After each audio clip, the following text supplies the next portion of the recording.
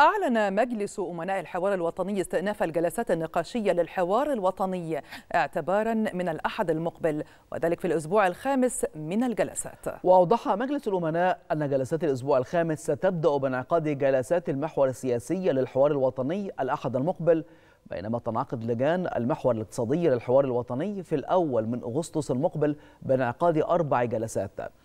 كما أكد مجلس الأمناء أن لجان المحور المجتمعي للحوار الوطني ستنعقد في الثالث من أغسطس حيث تتبحث لجان الأسرة والتماسك المجتمعي والثقافة والهوية الوطنية خلال أربع جلسات.